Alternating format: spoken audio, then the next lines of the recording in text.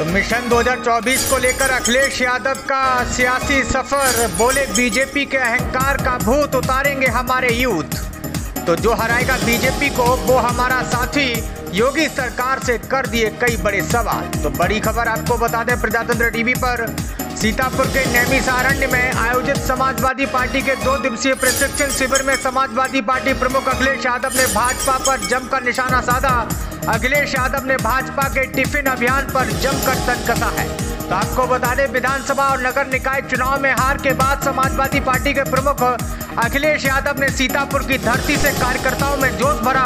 Samajwadi party के प्रशिक्षण शिविर के दौरान तीर्थ नगरी नैमिषारण्य से अखिलेश यादव ने कार्यकर्ताओं को मिशन 24 की रणनीति समझाई। समाजवादी पार्टी की रणनीति में भाजपा के टिफ़िन अभियान का भी ज़िक्र किया। दो दिवसीय चिंतन शिविर के समापन कार्यक्रम में अखिलेश यादव ने भाजपा पर तंज कसा अखिलेश यादव ने कहा कि बचपन में स्कूल जाते थे तो दूसरों के टिफ़िन से चुरा कर खाते थे।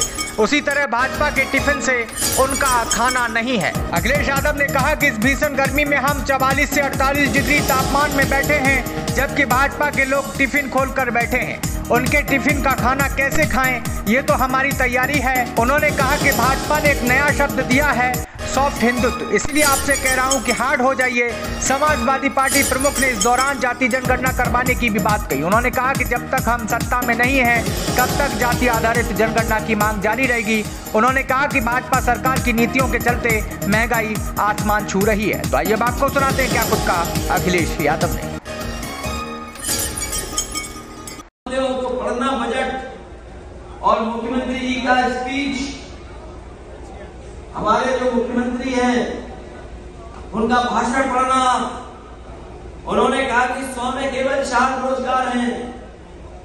जो आंकड़े देते हैं, वो सौ में चार रोज़गार के देते हैं। वो इसलिए देते हैं, हमारे प्रोफेसर सुधीर पवार जी बैठे हैं। वो जानते होंगे कि अनएम्प्लॉयमेंट रेट और एम्प्लॉयमेंट रेट क्या होती है।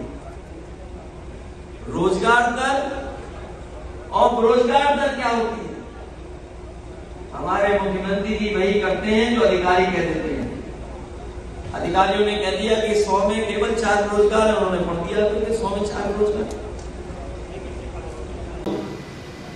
जहाँ पर मुख्यमंत्री जी ने कहा था कि छियालीस में छप्पन हमने भर्ती करा दिए।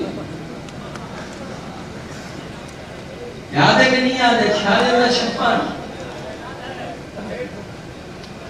और उसी बजट के माध्यम से जो सरकार ने पेश किया था बजट, उस बजट में सरकार ने कहा कि हमने सौ में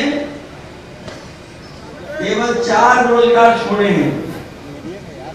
बाकी सबको रोज़गार दे दिया। ये ये बात सच है क्या?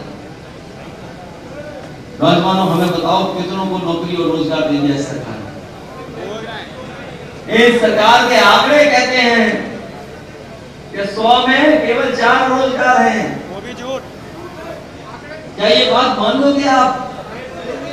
और ये बात अगर मेरी नहीं मानते हो तो पढ़ना बजट। और मुख्यमंत्री जी का स्पीच हमारे जो मुख्यमंत्री हैं उनका भाषण पढ़ना। उन्होंने कहा कि सौ में केवल चार रोज़गार हैं।